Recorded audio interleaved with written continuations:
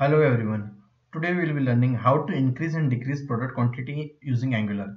Now here it's by default 0 and I'll use a Angular logic to increment this and decrement it. So let's begin.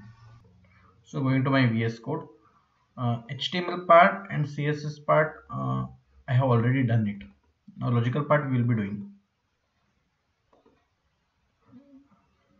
So I have come to my component.ts so first I'll create a product quantity.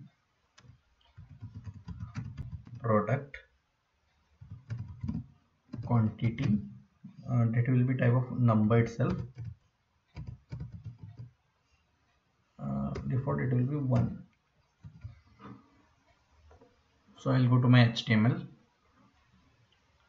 come below. You can see minus and plus. This is minus and this is plus so I'll be putting click function on this. So on this button I'll put click.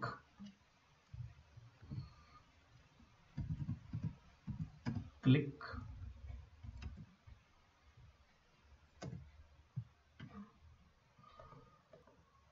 Name as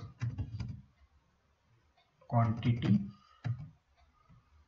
and pass parameter minimum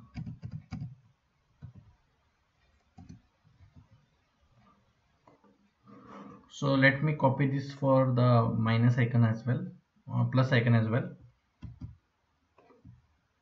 That is for increment. This is for decrement. So it's showing error because we didn't define it in ts quantity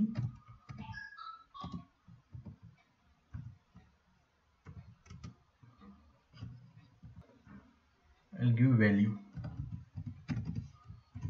string. So our error has been gone. So here we'll be putting the logic. So our product quantity is by default 1 uh, so I'll use that uh, here in value I have used 0 so I'll use product quantity we can see uh, it's defined one so one has come. Now I'll put logic. Going to ts again. So first I'll take if. If. Maximum I'll keep 8 this dot product quantity is less than 8 and value equal to equal to uh, value what we have given same I'll give minimum I have given here max I'll give.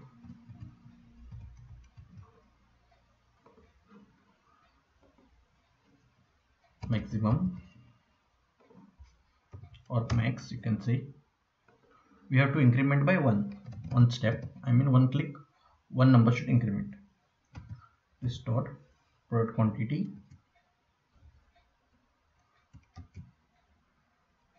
plus 1 let me check now.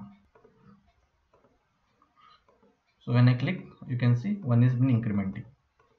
It's going only till 8 because we have kept here 8 now I have to make this work. So I'll be using else. Same logic we'll be using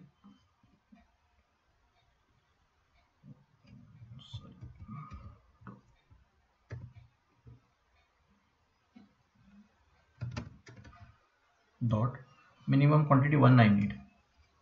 So below 1 it should not go less than 1 sorry greater than 1 if product quantity is greater than 1 because default is 1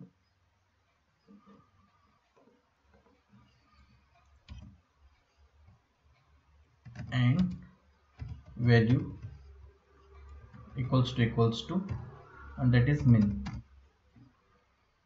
that time copy the same.